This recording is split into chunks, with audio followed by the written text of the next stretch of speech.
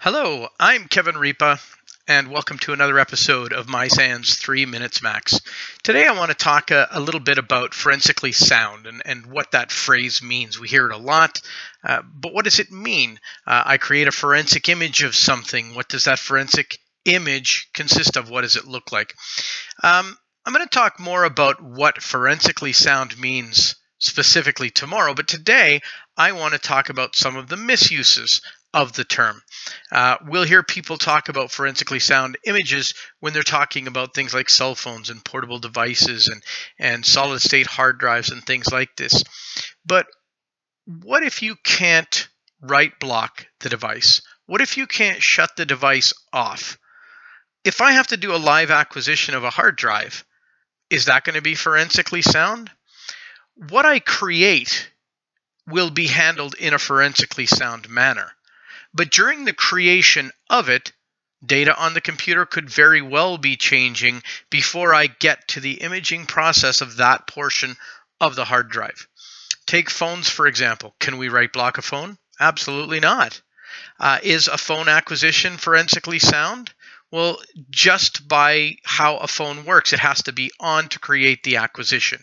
If the phone is on, there are things being changed on it. Even if you're just sitting staring at it, if it's just a clock that's counting down, there's still files on the phone that are changing, things that are trying to communicate out, even though you have it in airplane mode.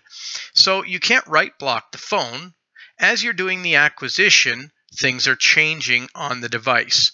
So a good example of this would be if I take an, an acquisition of a certain cell phone and then I give it to you to take a certain acquisition of that cell phone. Are our acquisitions going to match? No, they're not. And so that shows you that obviously there was changes happening within the device during the acquisition phase. So the takeaways here are uh, you can't, it's difficult to call it a forensic acquisition if the device is live, if it's not write blocked, if it's cellular, if it's a tablet, uh, even if it's a, a solid state drive. Um, we're going to talk more tomorrow about what forensically sound specifically is and means. Uh, and so until then, uh, I'm glad you joined us today. Uh, go ahead and visit sans.org and look at the great lineup of courses that we've got. And by the way, SANS is 100% Cybercast format now.